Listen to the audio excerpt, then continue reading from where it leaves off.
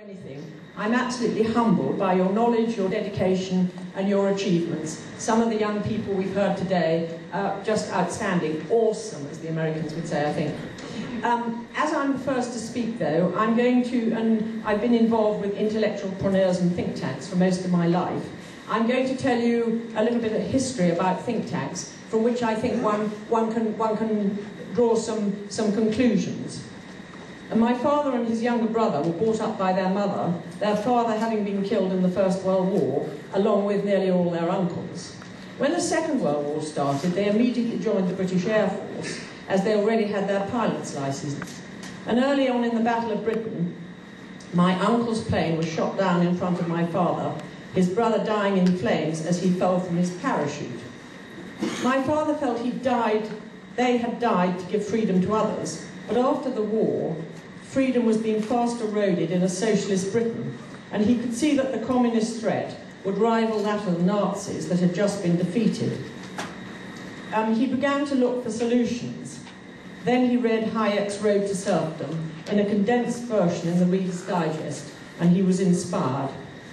He went and found Hayek in the London School of Economics and asked him what to do, suggesting perhaps politics, only to be told by Hayek that society's course will only be changed by a change in ideas. First, you must reach the intellectuals, the teachers and writers, with reasoned argument. It will be their influence on society that will prevail, and politicians will follow. So the challenge was set, and some nine years later, in 1955, after establishing a successful business that would enable him to realize his dream, the trust deeds of the Institute of Economic Affairs were signed, known as the IEA in London. It was one of the first think tanks, possibly the first in the world, to promote the freedom of the individual and limited government. By a mixture of good judgment and good luck, the think tank was founded on a set of principles that really have withstood the test of time. It is completely independent of party politics, and one cannot stress the importance of this more strongly enough. Party politics always involve compromise at some point, and compromise and principle are a very bad mix if you want credibility. It was to be founded by many, funded by many sources, so never reliant on one or a few big donors, and so susceptible to being persuaded to take a certain point of view, and it was never to accept government funding for that reason. Funding a think tank, as most of you will know, is a continual challenge. Like a hungry child, a think tank is never satisfied. The IEA was no exception, and to this day, funding is still probably the biggest challenge. Um, another strength is it, its market-based solutions to social and economic problems have always been based on the research work of academics, and the publications were peer-reviewed, so they acquired the credibility of academic papers. This encouraged academics to work for the IEA for nothing, which always surprises me, because although we preach market economics, we don't often practice them in the think tank world in this respect. The finding of the IEA's authors were published and still are in short, simple booklets without jargon that are easily understood by laymen and especially the press.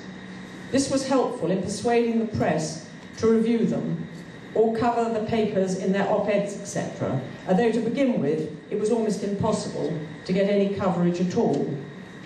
Then some management decisions turned out rather well.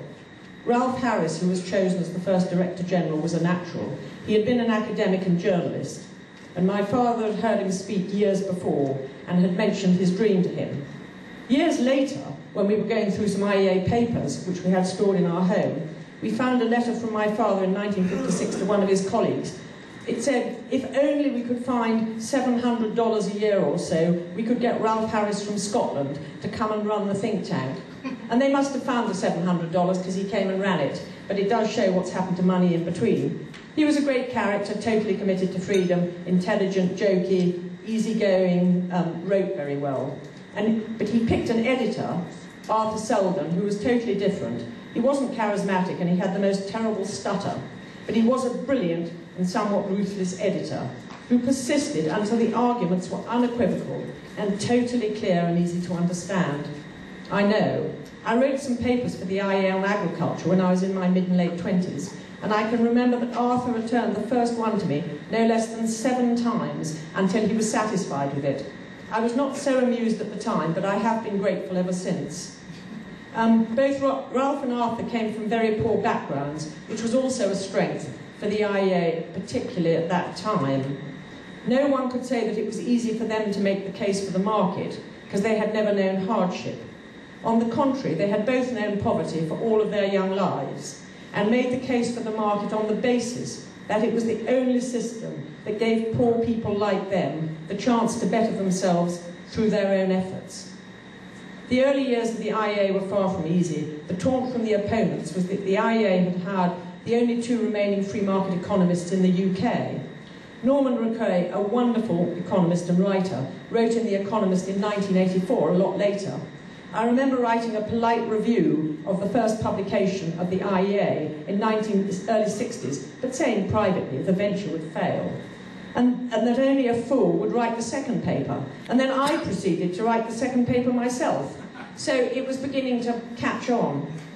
Um, the first paper was interesting and it taught us all a big lesson, um, particularly my father, who liked things to be a bit more lively. Um, and it wasn't what he, he thought it was a boring book about the evils of resale price maintenance and that it wouldn't get anything to change and nobody would read it um, resale price maintenance enabled manufacturers to require all retailers to sell their product at the manufacturer's required price, so there was no competition. You can't really imagine it now, can you? That if you bought a Mars bar or a Kit Kat or something, whatever you bought, wherever you bought it in the UK, it would be the same price. Um, you can imagine what it did to the economy, but it was fiercely resisted. One of the reasons for the success of the publication was the figure that the IEA have found was that Britons were paying 180 million more for their purchases than was necessary.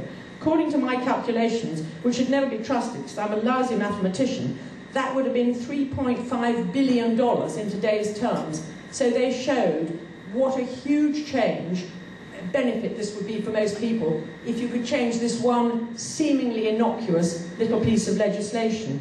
And it was really a big success and the legislation was changed. Um, but generally, it was not until the mid-70s that the IEA's views began to be treated more seriously. That was 20 years after it was first set up. So you who are starting out, just remember that. 20 years of being treated as idiots. Um, patience is much needed, um, and you've all, so most of you have got time. At this time, the UK economy had been brought to its knees by socialist policies. Uh, there were three-day weeks, union troubles. Um, and um, the, uh, at last the British public were ready for a change, and the IEA had the papers ready. A politician called Sir Keith Joseph, been an admirer of the publications, and he introduced them to a young lady called Margaret Thatcher. The rest, as they say, is history.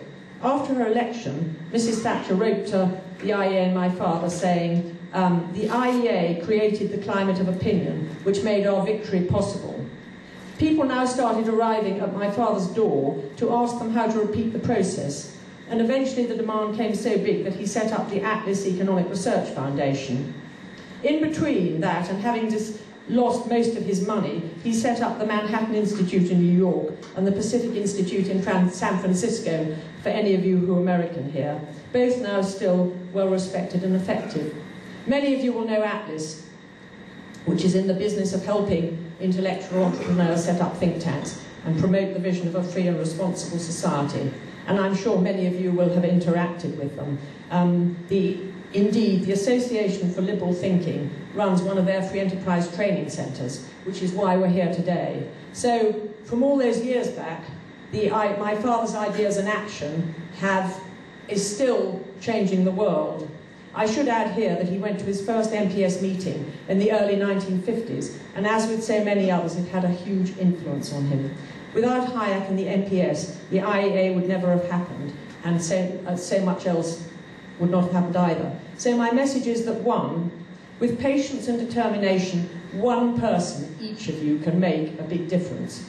Two, ideas do have consequences. We're in the business of ideas, and they can change the world. Three, an independent think tank is a really effective way of changing public opinion in favour of the creative power of freedom which can alone deliver prosperity and peace. Good luck to you all in your efforts.